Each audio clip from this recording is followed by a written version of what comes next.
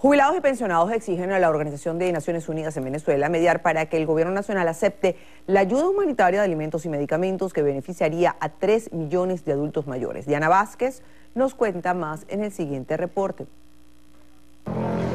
Buenas tardes. A esta hora, Arnoldo Benítez, presidente de la Subcomisión de Jubilados y Pensionados de la Asamblea Nacional, denuncia que no les alcanza a los adultos mayores la pensión que reciben por parte del Estado venezolano valorado en 392 mil bolívares, porque a su juicio los medicamentos que se logran conseguir se ubican al dólar paralelo. Que al costo de hoy de 241 mil bolívares el dólar, eso no llega sino a 1,62 dólares diarios para un mes cuando la Organización Mundial de la Salud establece que son 2 dólares diarios, es decir, 60 dólares mensuales y nosotros no ganamos ni 1,62.